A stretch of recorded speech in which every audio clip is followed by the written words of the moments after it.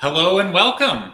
Thanks for joining us on this very special afternoon, a live stream of music and conversation, reflections of the Arab world. Here with two very special guests, Tarek Younis and Rasa Mahmoudian. I'm Tom Clowes, Executive Director of Crossing Borders Music and the cellist. We're going to talk to you later, but first we wanted to start with some beautiful music, Alla Delona by uh, arranged by Dia Succari, a traditional Levantine melody. Please enjoy this beautiful music.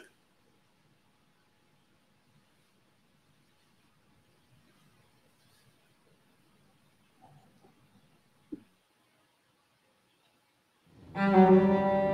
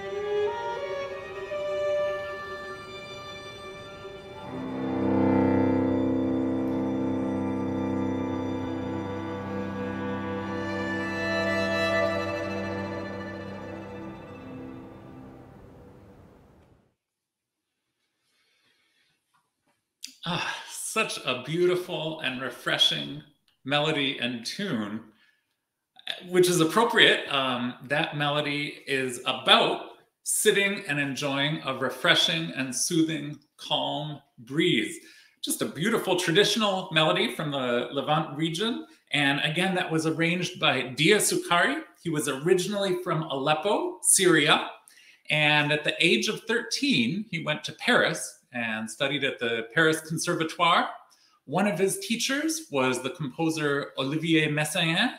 And you can really hear, at least I can really hear the French influence as well as those sort of regional melodies um, from the Levant region. I, I, think it's beautiful the way he combines those influences uh, and also captures that spirit of it just being very refreshing.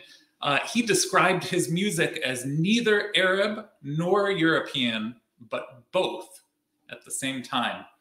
Uh, I'm sad to say he's no longer with us, passed away in 2010, um, but his music is still very much with us. Uh, again, I'm Tom Clowes, Executive Director and Cellist of Crossing Borders Music. And uh, with here, with here with me, here with me is uh, my colleague, uh, violinist and composer and wonderful all-around musician, uh, Mr. Rasa Mahmoudian. Hey, Rasa. Hello, uh, I'm so happy to be here and welcome everyone. Uh, my name is Rasa. I play the violin with Crossing Borders Music. I uh, extensively teach with an organization called Ravinia. And uh, also, I uh, play with uh, different orchestras and some ensembles. for example, I play with Middle Eastern Ensemble at the University of Chicago. And I hope you enjoy every uh, piece in this program. Thank you so much. Rasa, I was reminded as we were listening uh, of those sections that sound very much like an improvisation and a conversation between the different performers, um, just kind of making things up in conversation with one another. And, and I was reminded of how in rehearsal you explained how that's sort of a, a way of playing that you're very familiar with, and you were able to sort of help us understand how that worked. Um, Absolutely. So, uh, yeah, uh, growing up, I uh, uh in Iran, I uh, was uh, hearing a lot of melodic um, music, but uh, most of them were poetic. So they're based on poems, and uh, there there are some liberties that the musicians take uh, while performing them. And the music is mostly by ear, so it's not very rigidly notated. So it, there are lots of it happening that uh, at the moment, however, the musician feels or the it's a reflection of the environment they are in. Um, so they perform every time differently. And in this piece, uh, uh, he was able to document that and uh, ask us to uh, take certain liberties, whatever uh, is appropriate. Yeah, thank you so much for that. Um, really, some fine composing um, and, and again, I really hear that sort of gentle, refreshing breeze. Um, I also wanted to introduce uh, our special guest today, uh, Mr. Tarek Younis. Uh, Tarek um, is from Jordan and uh, is in Amman now. It's late there, so thank you for being with us late in the evening. Um, Tarek uh, won, as I understand, um, a number of awards uh, that um, some of which allowed him to study in London, where he earned degrees in music composition and uh, advanced degree in an advanced degree in ethnomusicology from the University of London. Um, at, after his bachelor's at Trinity College, he's now um, a pianist and educator and composer and especially a concert presenter, a concert organizer, you do it all. You, you I, I, hope that you get some sleep. Welcome so much, Tarek. Well, one has to be when there's so much one, uh, you know, that I'd like to do and would like to be involved in. And uh, Jordan is uh, a very um, beautiful place that has fantastic artists and wonderful musicians, truly talented musicians. And I am very privileged to be uh, living here. I'm also Colombian um, by background, so I have a very strange mixture of Middle East, Latin American, and European music. Um, influences. Um, indeed, I did uh, do my uh, degrees in London, all of them. Um, I had a number of awards uh, mentioning the uh, Chevening, uh, the MBI, the Purcell, and a Queen's uh, Queen Noor Endowment, plus, the, of course, the uh, Abdel Mohsen Qattan Foundation for Arts. Um, those were my scholarships, which allowed me to actually continue and finish my degrees and come back to Jordan and hope I'd be able at some point to make uh, a difference if if at all um, small, but uh, to try and better the music life in the city and for both audience and I am an educator uh, by nature, so I teach extensively, and I uh, uh, I quite enjoy bringing music to the masses. So through concerts or through education or through composition, that's I guess what my role is in life. and, and something that we're all doing today at the very best that we can. So we want to shout out to everybody who's with us virtually today, watching this live stream. Uh, if you have comments and especially if you have questions for us, we will get those um, uh, in real time and be able to respond the very best that we can. Um, Tarek, I wanted to ask you, was it common um, when you were able, um, through your achievements, to, to go to London and study uh, in, a, in a Western music program? Was that, was that something that people commonly did, uh, uh, sort of your classmates, or was that sort of a new and unique thing to you? Not at all. Uh, in fact, the, the first scholarship, the Purcell Anniversary Fund, was created by Her Majesty Queen Noor Al Hussein uh, to support uh, a fledgling number of musicians uh, to pursue further uh, education at international conservatoires. And uh, the first scholarship had three individuals on it, myself, Malak Tahir, and the wonderful Jordanian pianist, Tala Tutunji. And uh, they only sent three because the scholarship, unfortunately, uh, did not continue uh, due to many um, problems uh, in its management. Uh, but anyway, um, we managed to continue. Um, now we do know that there are more people that are seeking uh, education, uh, a Western sort of classical education in in, in music uh, globally, and there are many names uh, that have uh, that have sort of you know um, were rising are, are currently rising stars. Um, uh, but no, at the time when we were, I mean, when we were in, in Jordan, we we didn't even have access to a lot of material to listen to. I think the first time I listened to The Rite of Spring was in my first year of college. And uh, that was quite an amazing experience to be able to listen to anything that was past the 1900s in, in terms of composition. Um, I uh, was very fortunate to study with uh, people who understood that and um, saw that I had something to offer, um, but uh, allowed me to have a voice and at the same time to you know to express myself through my background um, in the medium that I have chosen. Um, I studied under the wonderful um, British composer Daryl Runswick, and uh, he has been instrumental in find helping me find my voice. Let's say. Wonderful. Thank you so much, Tarek. Um, and it's it's really neat to hear about your experience encountering um, some sort of pivotal works in the Western classical music tradition. And I hope that this live stream might inspire some people out there to explore who may not be familiar with uh, the Arab classical music tradition to similarly explore works from that wonderful um, tradition. Uh, I think it's great to sort of be aware of the larger world out there. So I hope some people might be inspired um, to learn more just as you learn more uh, about Western classical uh, music and the Rite of Spring and so forth. Um, our next piece is the Refugees Anthem, the International Refugees Anthem. And uh, this is by Arian Hu. Um, and it's arranged by our very own Rasa, um, who did a wonderful job with this arrangement. Would you like to tell us about this uh, piece we're about to hear, Rasa? Sure thing. So uh, again, uh, this was composed by Arian Hu. Um, uh, he uh, he's a Syrian refugee, but he lives in Beijing right now. Um, this uh, piece was commissioned by refugee nation in 2016, and it was used at the Olymp Olympics at the same on the same year. Um, says about the music that he writes that uh, music is the best language to deliver my message to humanity uh, which is to love each other. And uh, this language does not need uh, or require any translation.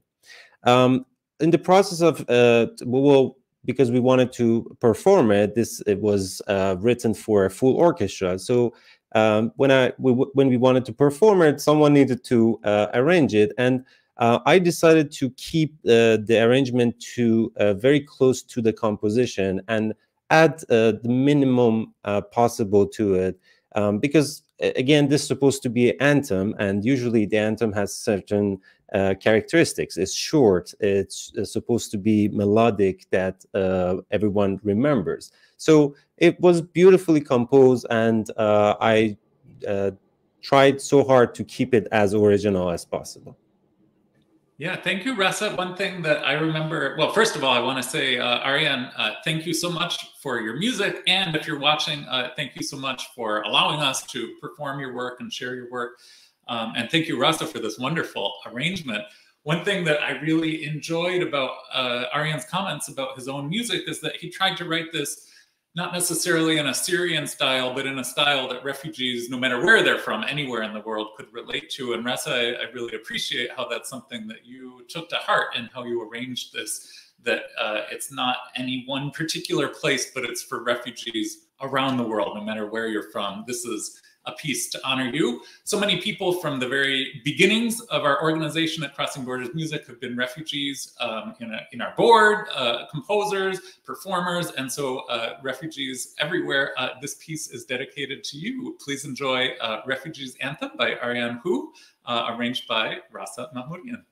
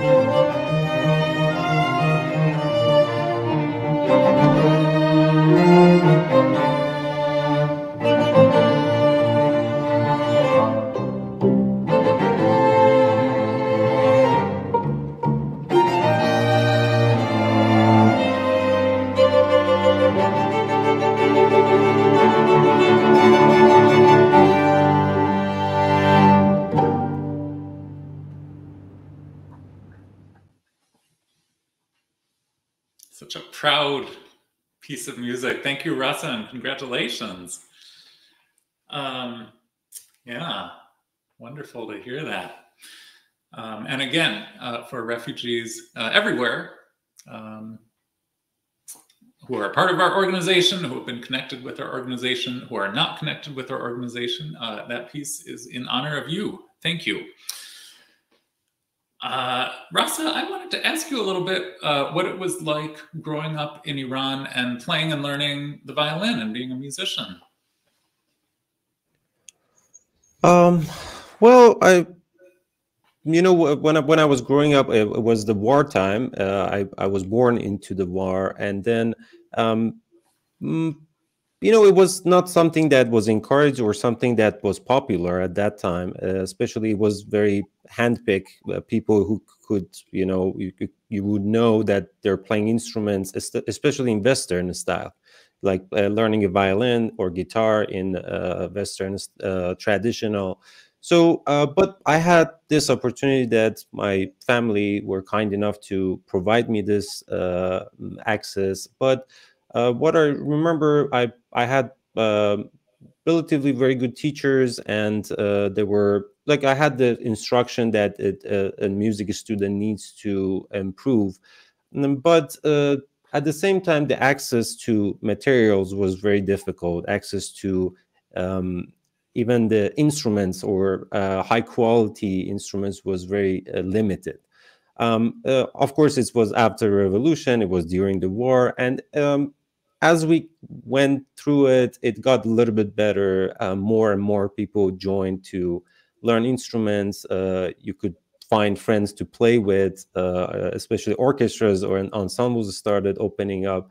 Uh, but still, it was uh, some sort of challenge. But um, I was fortunate to get good instruction in Western style, and later I uh, started learning about the music Persian uh, traditional music on my own.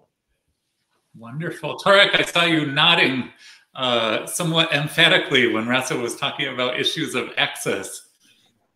Indeed. Um, as I mentioned before, I mean, I think the first time I, I listened to uh, Stravinsky was at college, and it was quite an eye opener. Um, there was a limited amount of um, I mean, obviously, with before the advent of the age of the internet, um, we had very limited amount of music available to us, and uh, mostly um, um, the, uh, uh, the, whatever we had was due that to that our teachers either traveled or got access to some sort of uh, music for us to look at. Um, my uh, wonderful teacher that basically um, got me from the age of 15 to the level of which uh, to which I got a, a, scholarship was uh, Rula Nabil, and I remember that she had an extensive library. That, but it was a private library. It wasn't. Uh, you know, for public access. And we, as her students, had the opportunity to look at music and read scores. And I think I learned very basic orchestration from simply looking at um, uh, looking at this course she had at home. Um, uh, then, of course, the idea that uh, we tended to enjoy whatever was available to us without exploring something fresh and new and completely different. In 1993, uh, I was given an opportunity to go before my bachelor's to the UK um, by a composer, Steve Martland, who invited me to come and spend a month learning minimalist music. And it was quite, it was just a small advert in BBC Music that my uh, teacher had on her table and we sent my piece and I was accepted. So I went to the UK for a month and I spent two wonderful weeks learning about minimalist music and writing um, music in a completely different manner. Um, and uh, I we relished access, but unfortunately, it wasn't available to us at all. Um, and it was difficult. And unless we traveled, um, we we didn't have access to that. So yes, I I definitely understand the whole the the, the whole dilemma of of exposure at the time. Yeah. Uh, thank you for that, both of you. Tarek, I'm wondering, um, speaking of access, uh, how accessible is um, music composed by Arab composers for Western instruments?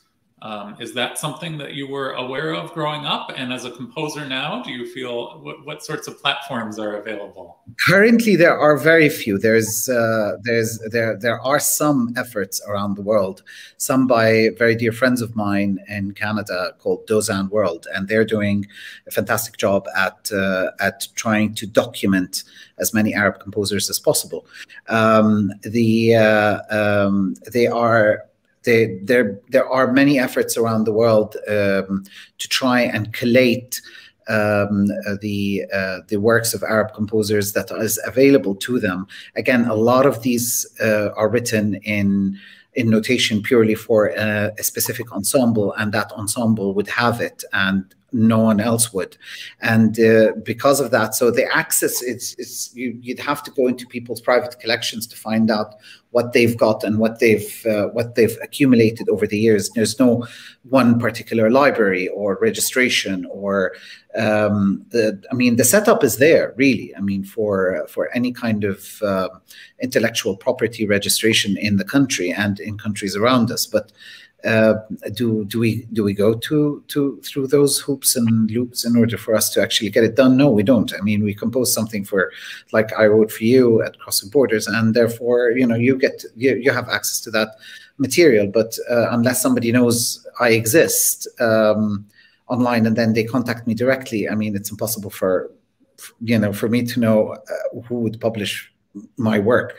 Uh, that's number one. Number two is the fact that um, uh, the uh, a lot of the music that is actually written in the Arab world, we have to make a very important distinction that there's a there's a mixture, there's a melange of Western uh, European classical music and Arabic classical music, which is and they are very much intertwined in the region.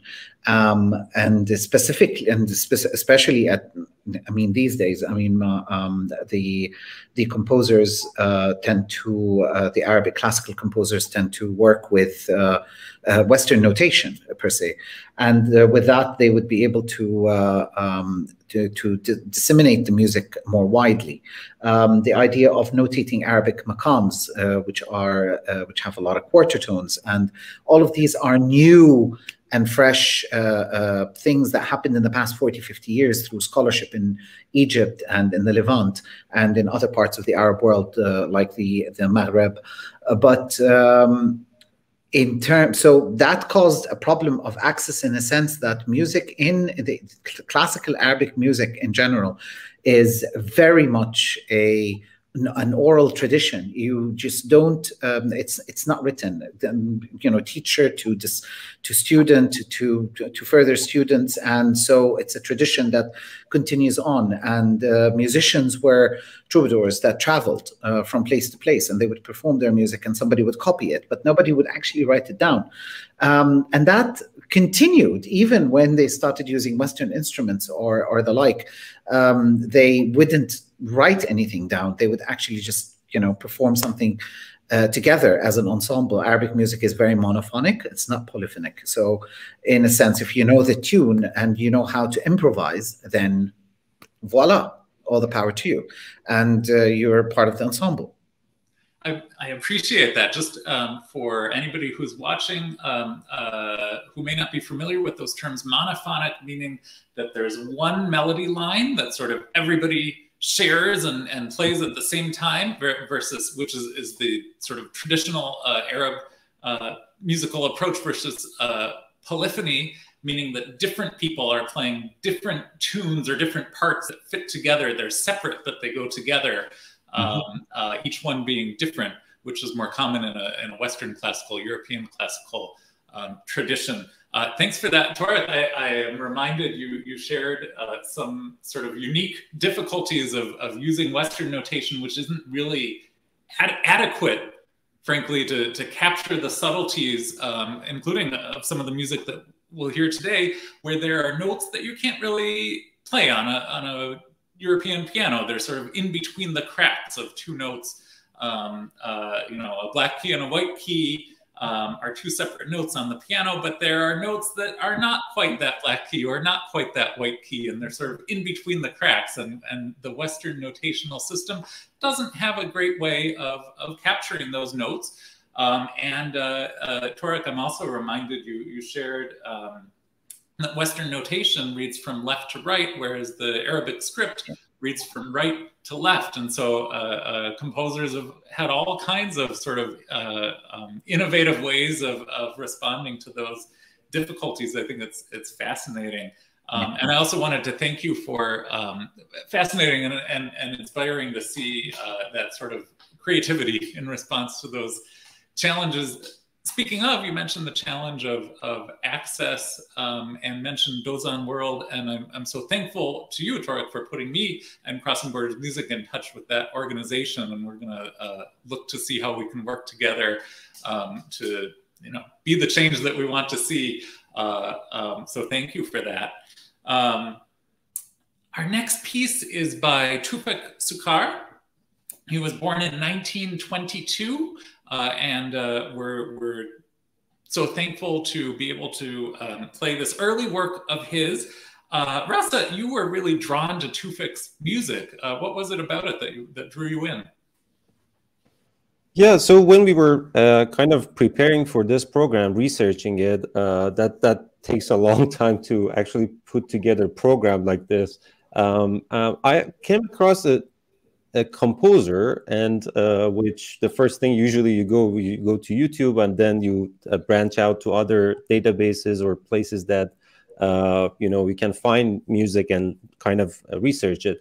So I, I came across a composer uh, from Lebanon that I never heard before. And as soon as I started playing the music, uh, either was a string quartet or piano solo music, I was just uh, stunned by it. It was like, this is beautiful. Like, why do I not know this composer? So um, it, Succar, uh, Toufic is using a lot of melodic content of uh, what I know, I, I heard. There were a lot of cross-cultural um, uh, melodies between uh, Iran and uh, in mid Middle East. We share a lot of things, uh, not only uh, like dolma or other, you know, food, but we share melodies as well. And there are lots of them that I grew up listening to. And um, yeah, the way he uses these melodies, these folkloric me melodies, and the traditional music in and integrated into his music, it, it, it is fascinating. So um, again, this was as Tarek was mentioning, uh, it it was very um, eye-opening to me that uh, this is a very accomplished composer, and I never heard uh, about him before, and it was really hard to even find any music by him in print. Uh, so uh, it took us a long time to find it, and uh, you know we were able to perform this wonderful piece.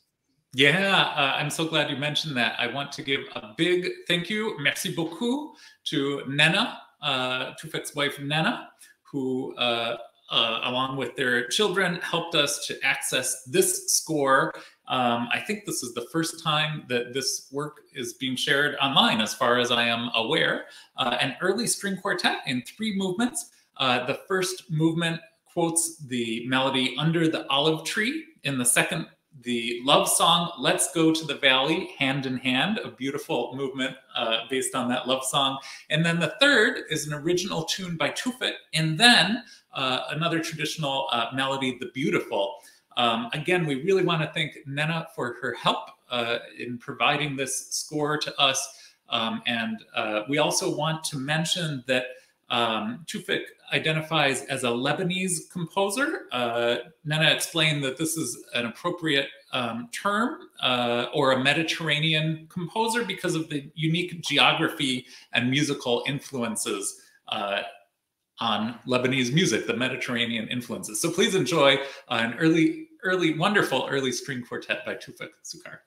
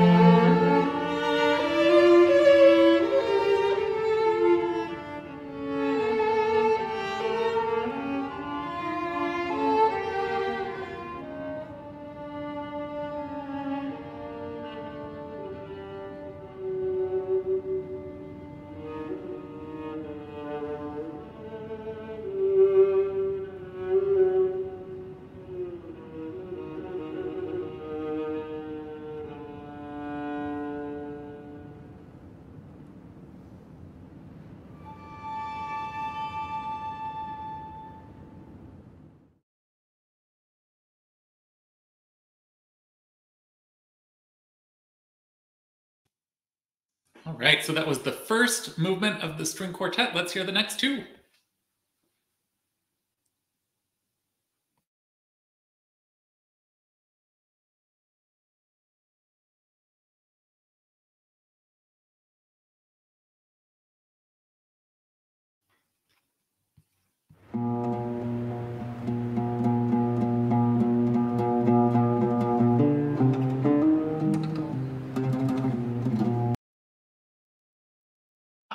So uh, we heard the first movement of Toufic Succar's uh, string quartet. We'll look forward to hearing the next two movements in a little bit. Uh, I just love uh, the combination of those um, uh, different influences uh, on the music that we hear there. Um, in the meantime, um, Rasa, would you like to tell us about um, uh, would you like to tell us about uh, our next piece by Issa Boulos? Sure thing. So um, the next performance is a solo oud improvisation by Issa Boulos. Issa is a Palestinian-American oud player. Uh, he's a composer, he's an ethnomusicologist, and educator.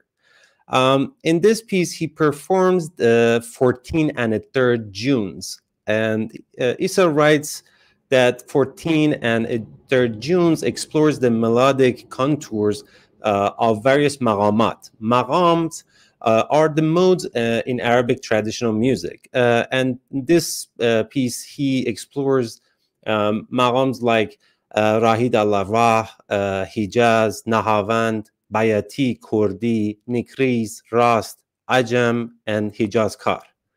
Uh, although the piece is improvised, it relies on developing pre-composed uh, short melodic, ideas uh, and expanding them according to the Maqam's tradition and neo-traditional approaches and techniques. Um, the underlying component of uh, this uh, piece that keeps the piece together is the meaning. Um, June was the month uh, when Issa's family used to spend more time together. And uh, the central idea behind this piece is that Issa's father had uh, a stroke in 1982, uh, which interrupted such gatherings. And uh, unfortunately, he passed away on June 10th, 1983, uh, when Issa was 15. Um, he spends 14 Junes and a third with his father.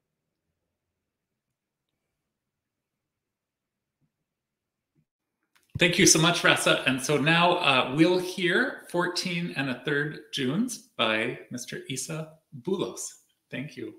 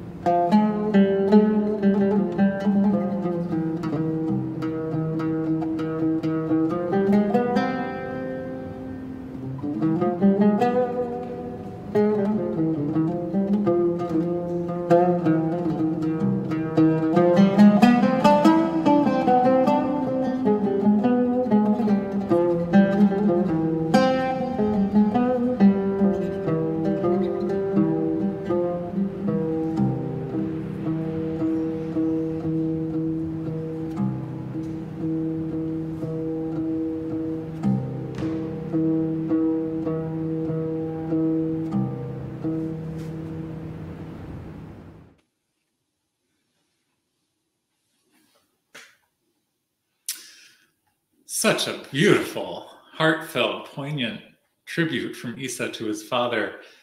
I think it's almost appropriate if you listen carefully enough, you can hear the rain on the evening when Issa was performing that. Um, such an evocative, um, beautiful uh, piece of remembrance and tribute. Uh, so, Issa, if you're watching, thank you for sharing your beautiful music with us. And now uh, we'd like to return uh, and hear the second and third movements of uh, Toufic Succar's uh, early string quartet. Uh, again, thanks Nenna, Toufic's wife Nenna.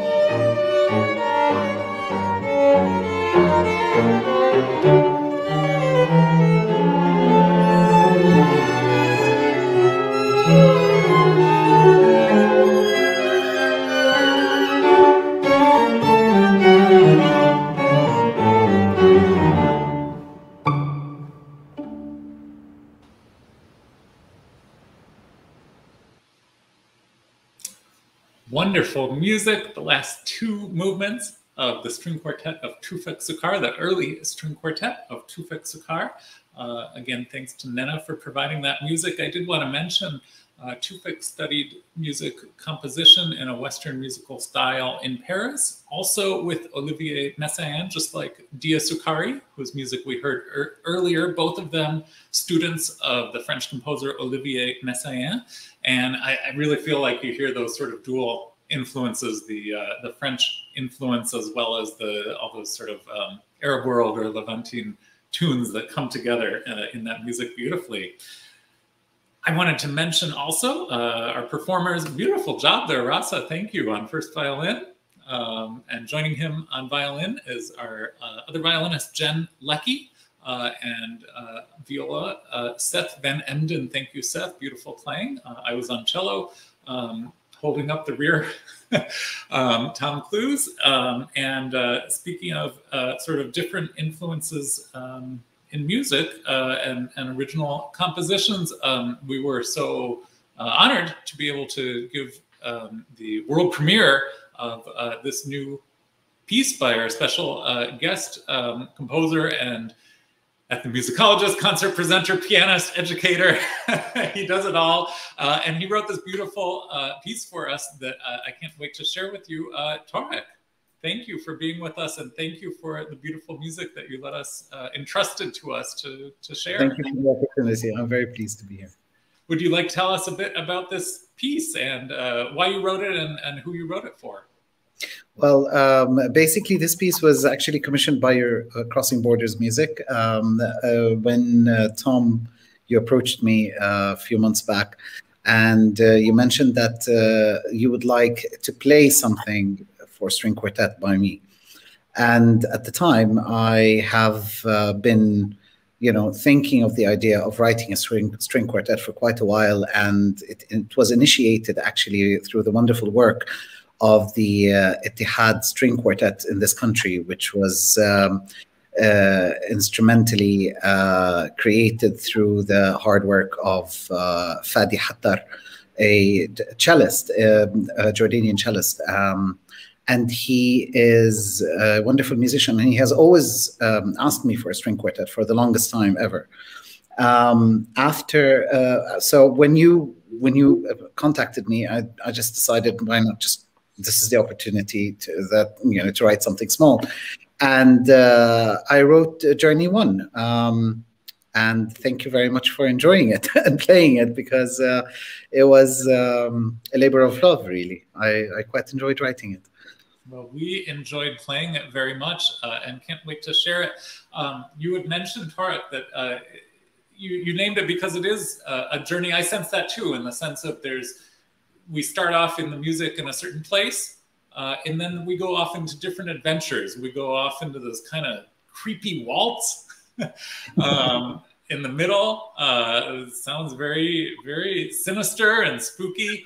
Um, and we have different, we have these, these, uh, very intense chords in the middle with everybody in the quartet just holding on to these intense loud chords for a long time.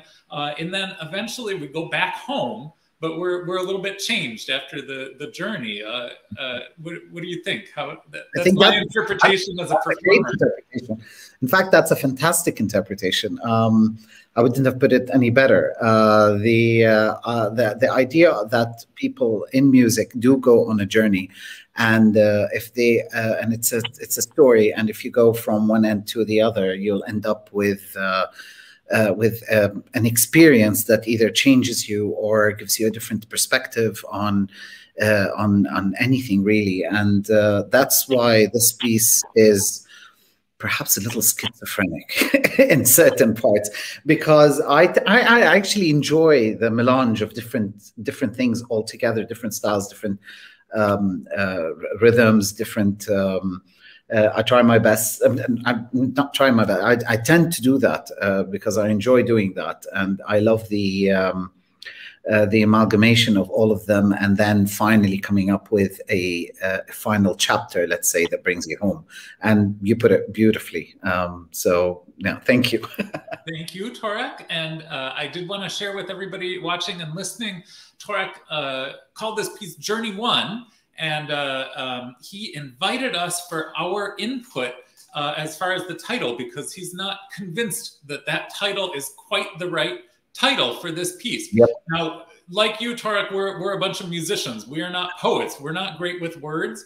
And so that's why we want to hear, and Tarek would like to hear from you, listeners, yeah, about your ideas about this piece and especially what you might title it, because that title, every the music is all set, but that title might change. Is that is that? Yeah, yeah definitely. I mean, the idea is it's, it's such a wonderful opportunity to be able to broadcast to so many people and get so many people's uh, input. Um, um, this, as I said before the show to to you all, I tend to write music and then with the title being an afterthought. And uh, I, I, just i'm constantly confused. So i end up with these generic names with one two three four after them. Um, uh, so i would very much like to hear what people can you know what it evokes in people. And uh, it helps me to and to come up with some sort of a title that maybe is a little bit better than journey one a little bit more creative than that. So yeah please. So world anyone.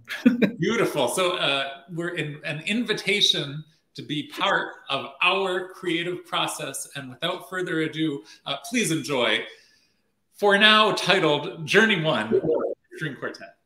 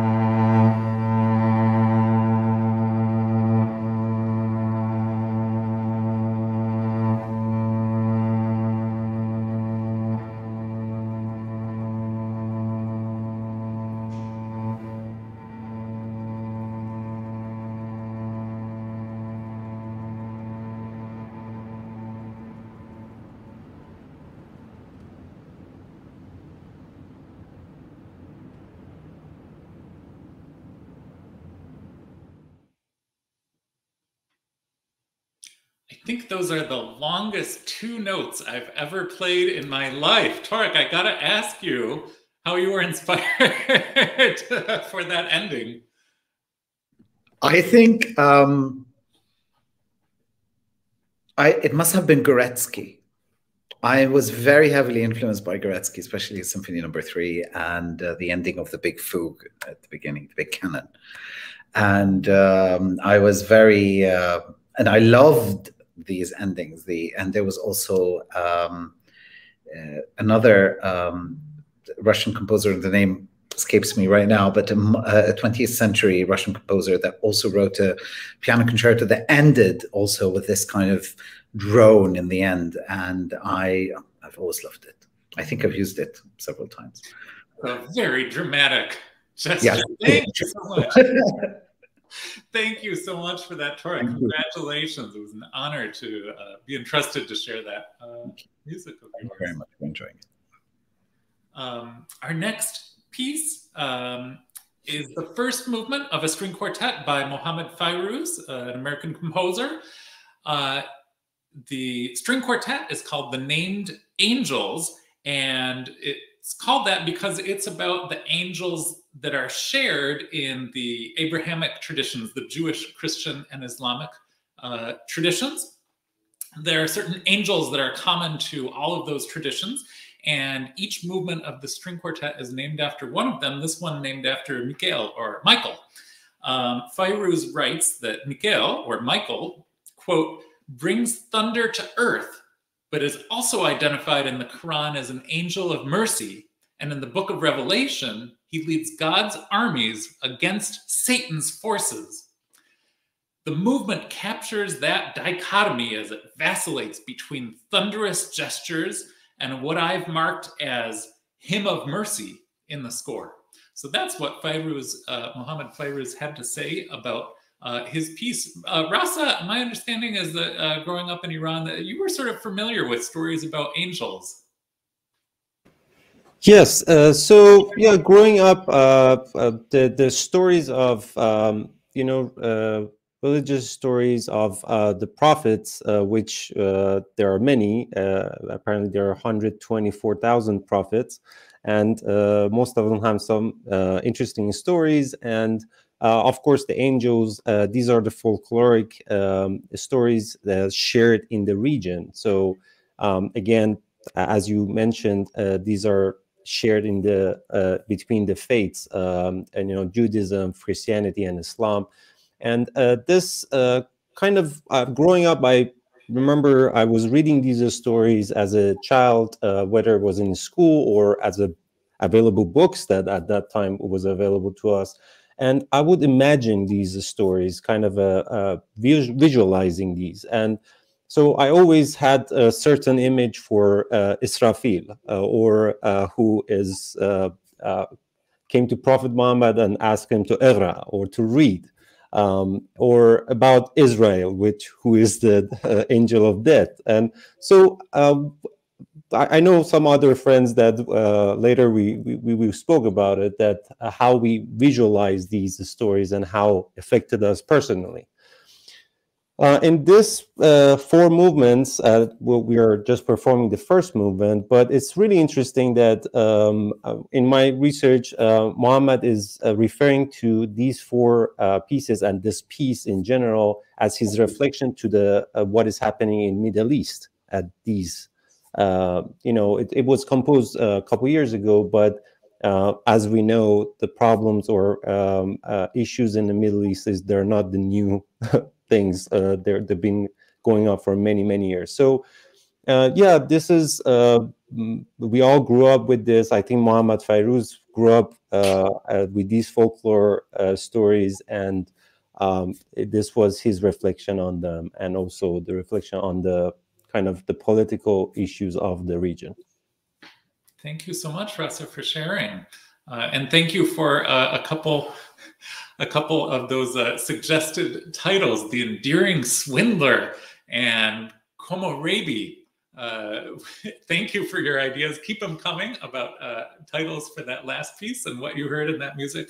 Uh, and now, uh, Russ, I really liked what you said about um, painting a picture, having a picture in your mind. And I think that um, uh, Mohammed Fairouz does such a beautiful job uh, in this piece of, of painting a scene. So uh, hope you enjoy this very intense music and yet also sometimes uh, that hymn of mercy, the, the very uh, um, um, inward looking uh, or, or merciful melody, as well as the, um, the uh, thunderous themes. Please enjoy this beautiful piece.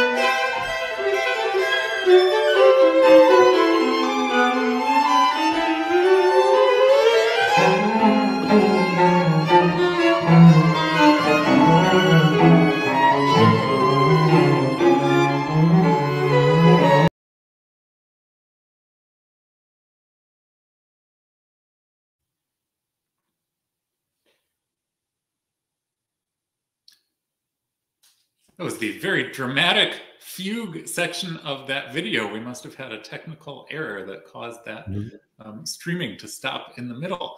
Um, hopefully, we can hear the rest of that uh, really exciting music and right in the middle um, of that, uh, um, right in the middle of that piece. So um, exciting. And apologies for the the technical um, issue. Let's let's hear this this movement one more time. thank you.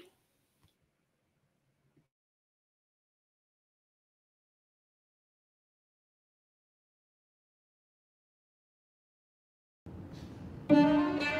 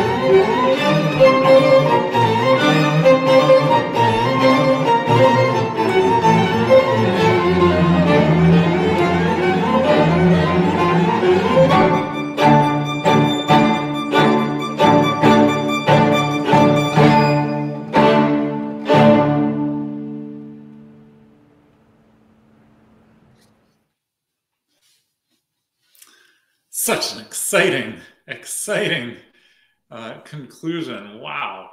Wow. Nice job, Rasa. Great playing. Thank you, Tarek. Um, well, we have two pieces left, which we'll hear uh, without pause in between them. Uh, these are compositions by uh, Mr. Issa Boulos, who's a Palestinian and American, uh, well, he does many things uh, like Tarek, an educator, uh, a composer, a performer, uh, oud, oudist, um, musicologist, ethnomusicologist, and we were so um, grateful uh, to him for uh, sharing with us um, his music, um, his uh, expertise, his, his insights uh, on the music, and, uh, and for inviting us to, to perform with him in arrangements that he made just for this um, opportunity. Um, Rasa, would you like to tell us about the two pieces that we'll hear? Absolutely. So um, the first piece is called Samai Nahavand. And usually, um, uh, this title, uh, when uh, there is a title of Sam Samai, is a, a poetic form uh, borrowed from Ottoman, uh, Turkish Ottoman, and uh, still the Arab, Arabic um, regions, the composers are coming up with new Samais in different uh, maqams, which are the modes.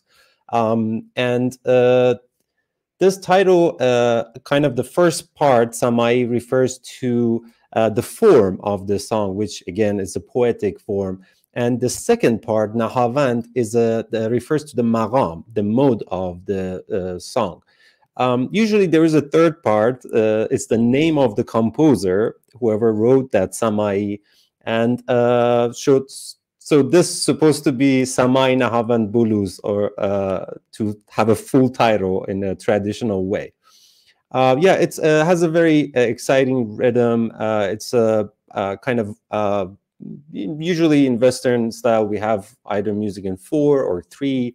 We say one, two, three, four. But this one uh, it's a little bit more com uh, complex than that. It's a one, two, three, one, two, one, two, one, two, three, one, two, three, one, two, one, two, one, two, three. That uh, creates a very um, exciting groove.